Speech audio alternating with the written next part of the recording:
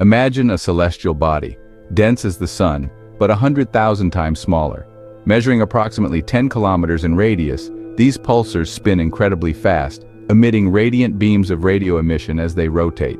They are incredibly dense neutron stars, acting like powerful electromagnets. These stars pose as prolific axion factories, generating a staggering quantity of axions per second.